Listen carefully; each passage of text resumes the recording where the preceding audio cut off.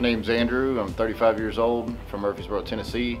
I'm uh, here to ultimately give back to my son and uh, be a better father to him and be a better son to my father, be who I know I can be and be the best me that I can be. Since coming to Teen Challenge, I've been able to discover a lot about myself that I didn't know was there. A lot more patience than I thought I had, a lot more understanding for things that I didn't understand and didn't get before. I'm glad that I've had this opportunity. It's definitely once in a lifetime and I'm trying to take full advantage of that while I'm here and take everything I learned with me to the future. Teen Challenge means hope for the future for me.